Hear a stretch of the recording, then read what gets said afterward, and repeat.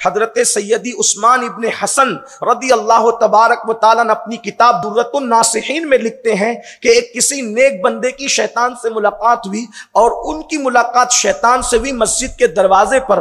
तो उन्होंने शैतान से पूछा कि आज तेरी मेरी पहली मुलाकात है, मुझे आज तुझसे एक चीज़ चाहिए। शैतान ने कहा, आप मुझसे क्या चाहते हैं? तो आपने फरमाया, मैं तेरी तरह बनना चाहता हूँ। मैं चाहता हूँ कि तेरी तरह बन जाऊँ। उसने हैरत से कहा कि आज तक मुझसे किसी ने यह चीज़ नहीं मांगी जो आप मांग रहे हैं कि मैं तेरी तरह बन जाऊँ। मेरी तरह आप क्यों बनना चाहते हैं? लानती हूँ, रजीम हूँ, मरदूद हूँ, लानत का तोक है।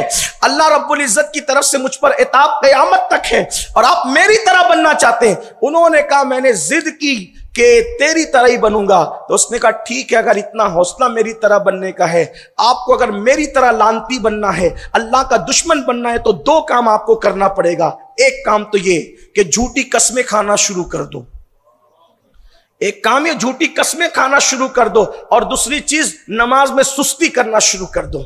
अल्लामा उस उस्मान इब्ने हसन कहते हैं कि शैतान ने कहा, अगर मेरी तरह बनना है तो झूठी कसम खाओ, नमाज़ में सुस्ती करो, फिर जैसा लानती मैं हूँ, वैसे लानती तुम भी हो जाओगे। उन्होंने कहा, अल्लाह की इज़्ज़त की कसम, अब मुझे पता चल गया कि मरदूद किस वजह से हुआ जाता है। अब मैं मर जाऊँगा, लेकिन कभी झूठी कसम नहीं खाऊँगा और कभी नमाज़ में सुस्ती नहीं करूँगा। तो शैतान ने कहा, अफसोस, इस तरह मुझ जैसे मक्कार से मक्र करके किसी ने कभी नसीहत हासिल नहीं की। अब मैं भी कसम खाता हूँ कि मैं कभी किसी मुसलमान को कोई नसीहत नहीं करूँगा।